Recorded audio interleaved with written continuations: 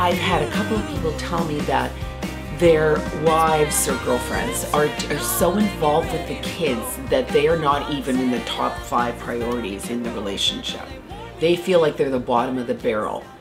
And then there's other people that have said that the dogs, the pets, the, the animals have become the priority over the partner.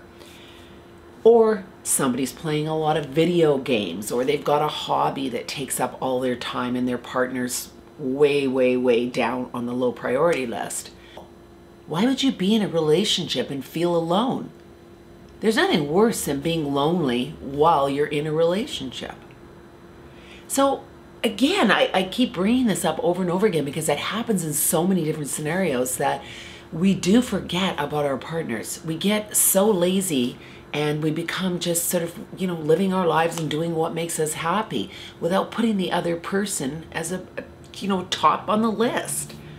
We have to stop doing this. People hate dating today, but they don't make huge efforts to maintain their relationships anymore. Yes, our kids need us. Yes, our pets need us. Our careers need us. Our hobbies, not so much. But we still tend to put all these things out there over our relationships. You were there together as a couple. All these other things probably came after the fact. Or if they were there when you first met each other, you still made a priority to keep that relationship going for those first couple of years. So why are you not doing that now? I'm telling you, with all these letters and things that I'm getting, it's really becoming a big problem. People just think that, oh, well, it's, it's okay, they'll get over it, you know, I'm, this is what I want to do, and, and they just have to compromise. But they don't have to compromise. You need to compromise. You need to be able to fit all these things into your life.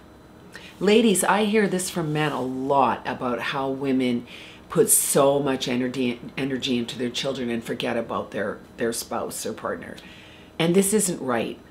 You made a baby together, right? Remember how you did that? Remember how you got there?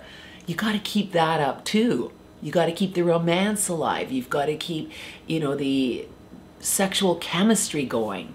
It's not just about, you know, the kids soccer game or play dates with other other moms or please make sure that you nurture your relationship. And same for guys, don't put all your other hobbies and things ahead of your partner. And I love pets like most people do, but I am finding that a lot of people are making their pet a priority over their, their partner again. The trick here is everybody, you need to compromise. You need to have your full life with lots of things going on, but you need how to put them into a space where that you can have them all. But your relationship should always be number one.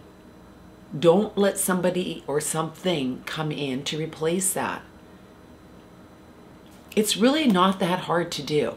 You just have to be aware of it and you have to listen to your partner. If they're telling you that they're feeling replaced or they're feeling ignored or they don't feel like they're in a relationship, you better listen to them or you're going to be back out single again. And maybe that's what you want. Maybe that's where you're trying to go. But if that's the case, just be honest that you're not happy and that you want to move on from the relationship. Don't let your partner sit there feeling like they're alone within a relationship. Anyway, little bit of a, but it is something that can be really looked into and fixed. And don't leave it too long before it becomes where you've just pushed each other away so far there is no going back. Take some time for each other. At the very least, listen to each other. Listen to what their needs are and compromise. Thanks everyone for listening to Dear Sybersue. Please tune in every Wednesday where I upload on YouTube and my blog at Dear Sybersue. I upload blogs and videos every Thursday and sometimes more. Thanks everyone. Please leave your comments below and subscribe to my channel. Thank you.